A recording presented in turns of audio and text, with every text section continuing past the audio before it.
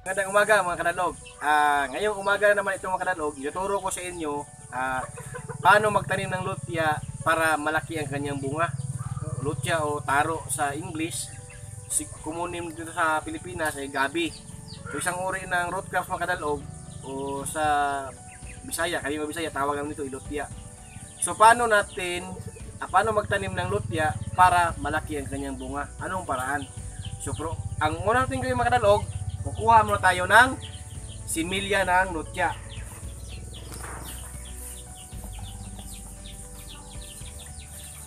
Ito mga kadalog. Ito mga kadalog lutya ay tumutubo lang ito dito.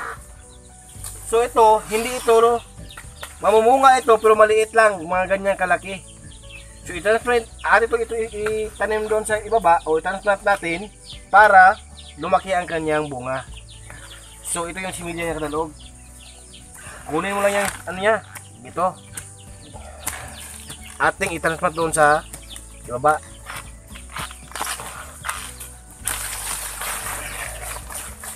Mayroon siyang bunga kadalog oh, pero hindi yan lalaki. So, gansi tayo dyan. Kaya magtanim tayo ng ah plaster siya. Yung maganda yung ano niya. Tapos, makanalog doon tayo magtanim. Kasi, mataba ang lupa doon. Dito makanalog. Sa bukid mga kanalog, marami tutubo na mga ganito. Pero itanim mo talaga siya para malaki yung kanyang bunga.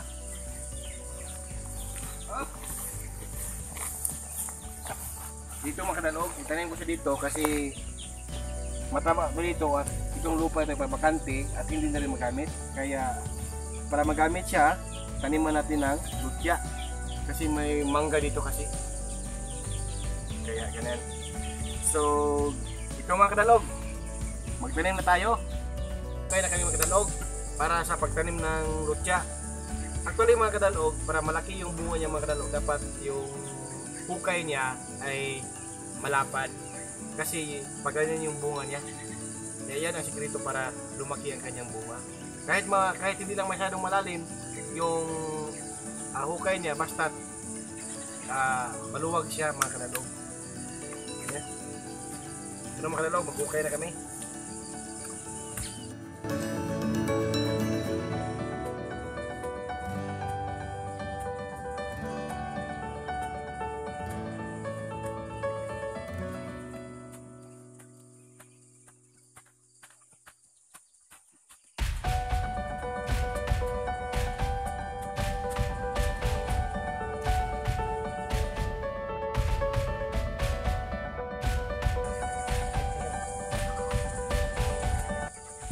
Malambot yung lupa, lupa ngayon mga kadalog.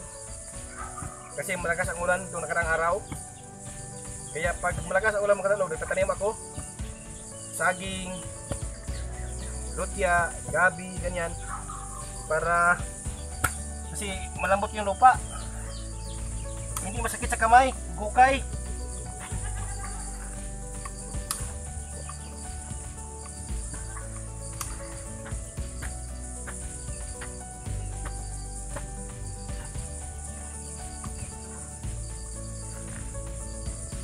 Ito kadalog ay hali- halimbawa lang kadalog ha. Kung magtanim kayo, dapat ganito para malaki yung bunga.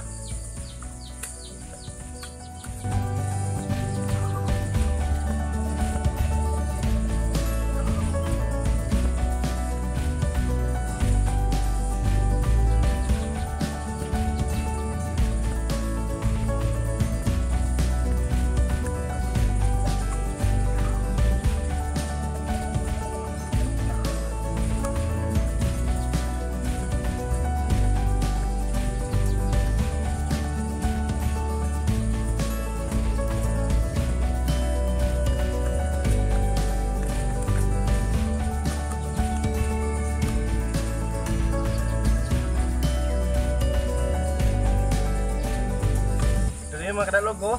Malapad yung ukay niya. Ilapit ko mga kadalog para makita niyo. Yan. Nakita niyo yung kadalog?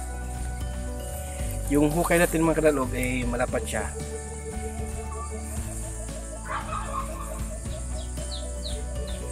Ang sikreto talaga mga kadalog is lapadan mo yung hukay.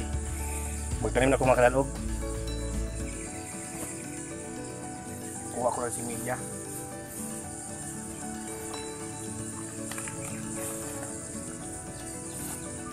Halimbawa, ito mga kadalog. Oh. Kulitin yung mga ano niya. So ito mga kadalog. So malapad yung yung hukay niya. So yung bunga niya mga pag ganyan yan. So pag malambot yung lupa, pag magbunga siya, so malaki yung bunga niya mga kadalog. Mabaghukit tayo mga kadalog nito, pag malaki mga kadalog, ay malaki yung bunga niya. Kasi malambot yung lupa. Yan ang gusto ng lutya mga kadalog.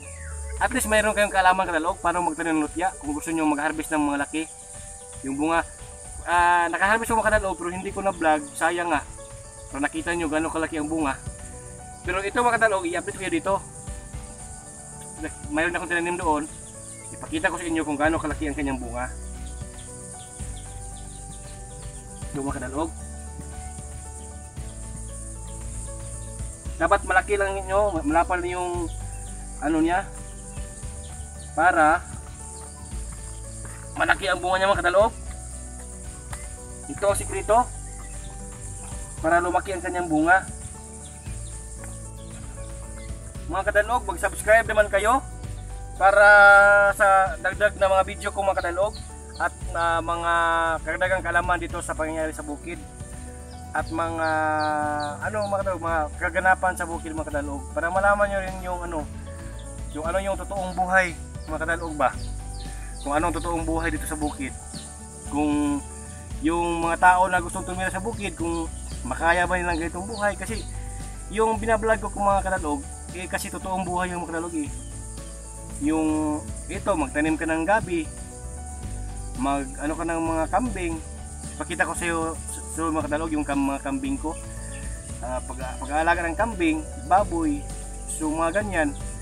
So ito yung mga kadalasang pamumuhay na nasa bukid mga kadalog magtanim ng mga halaman ito mag-garden diba so ito mga kadalog yung ginagawa, ginagawang vlog ko ngayon ito ay ah, ah, sa example na para makaharvest ka ng malaki yung ano yung lutya mo malaki so ito yung mga kadalog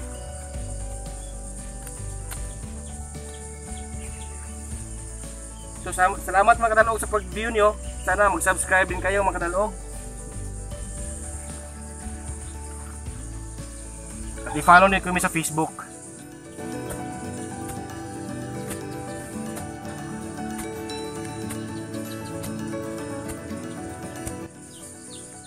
Kahit hindi masyadong malalim mga kadalog, okay lang. Basta malapad lang yung ano, yung hukay niya. Hindi na kailangan malalim.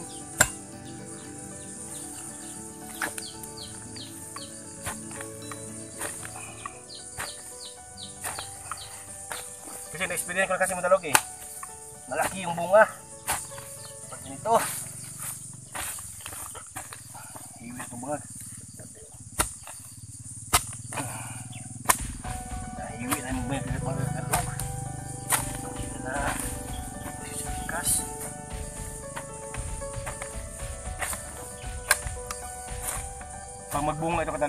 Kayo. Para makita niyo kadalog, gano'ng kalaki ang bunga.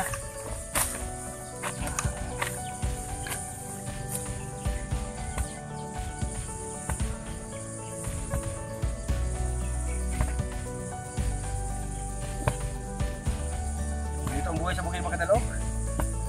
Umaga pa lang, pagpapawisan ka na.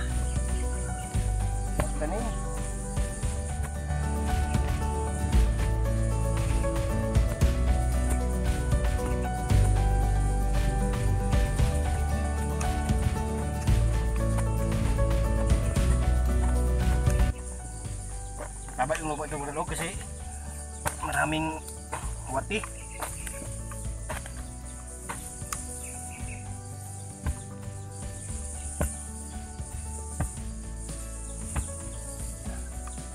Ibahog sa ating mga manok sa kaloob, arawan. Kung marami ito kadalog, masarap to kainin. Nakain to. So, basta kan mga kadalog. Itong manok na kadalog oh. Oh, wala na kadalog.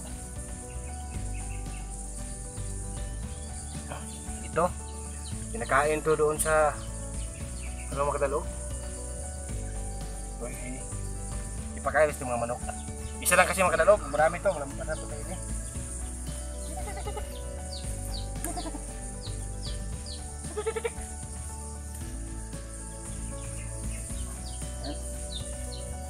Kinakain ang ating mga kadalog.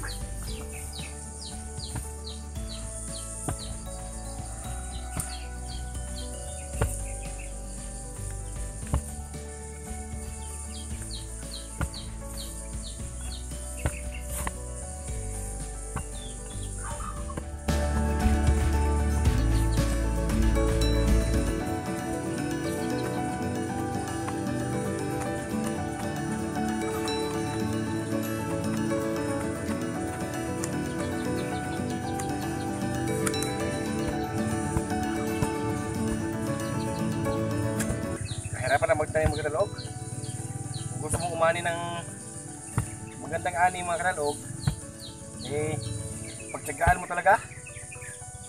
Kailangan mo magtsaga.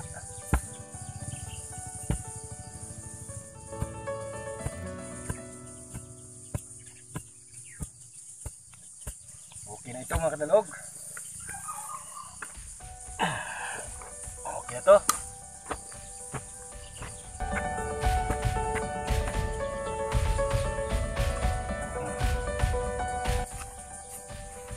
Kuha naman tayo ng similya mga kadalog. Ito lang mga malaki dito yung ito mga kadalog.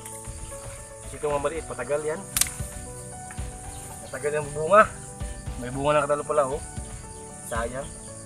Kahit maliit ito kadalog, ilagay ko sa, sa ano, sa kulay.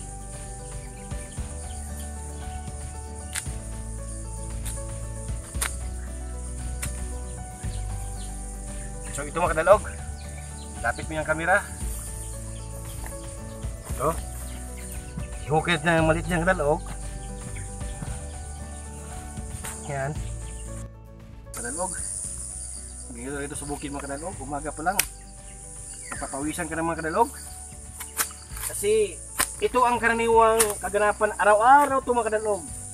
Nakatanim ka, nilinisan mo yung mga pananim mo. Araw-araw mga kadalog. Kaya araw-araw ka pinagpapawisan ka mga kadalog. Ito ang ganahan sa bukid mga kadalog kasi tumutulo yung pawis mo dahil nakatrabaho ka araw-araw sa bukid. So yung may balak tumitirang ng bukid na taga syudad mga kadalog, ay pag-isipan nyo kung kaya nyo. Dahil mahirap talaga magsimula. so salamat sa view ni mga kadalog.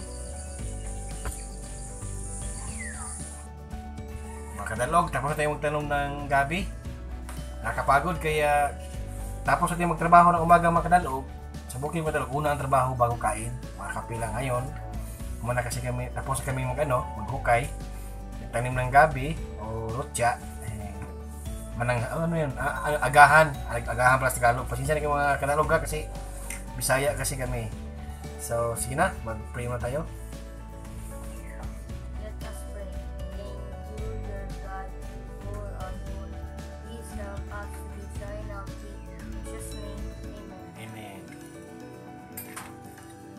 Na. Kain tayo na loob. Bukas ka dalog. Mag-vlog ka dalog. Mag, ano kami, magpagaling kami ng mais. Mais ka dalog. Para may bigas kami na mura. Yung, yung mais ba, magpagaling kami. Nag-vlog yung kadalog. Malayo sa amin, mga 3 kilometro pang gilingan ng mais. Punta kami doon bukas. Sarap to kamay yung kadalog. Dalawang nilo. Itlog ng aming Rhode Island to mga kadalog. Libre. Sure mga kadalog, pag nadami aking pabo, kain kami itlog ng pabo mga kadalog. Pakita namin sa inyo para ano, ang mga kayo na masarap pala itlog ng pabo.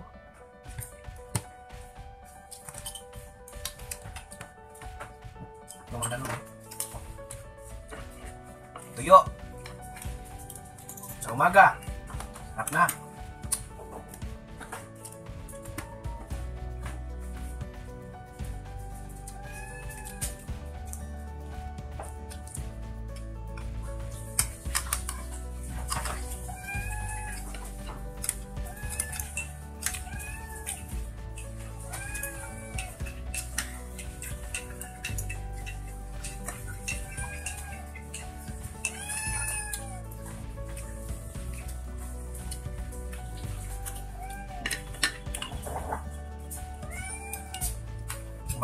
Mabuti itong tuyo kadalog kasi nakatipid tayo.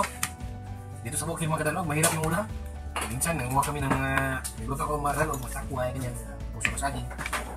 Pag puso, magka, kahit yung masarap na gulay.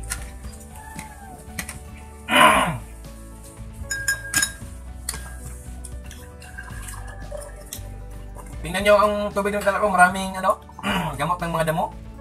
Yan, herbal yung mga kadalog. Maraming mga gamot-gamot yung ano namin, yung tubig. Para malayo sa Tagalog. Mahirap na magkakita Tagalog. Kasi bibili ako ng mga synthetic na vitamins mga kadalog ay mga gamot na lang ng mga damo. Nilagay ko sa pitsil namin.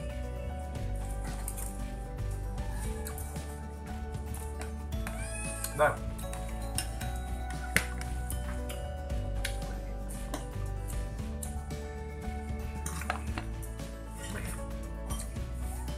Itong mga kadalog, oh, tingnan nyo. Maraming mga gamot ng damo mga kadalog.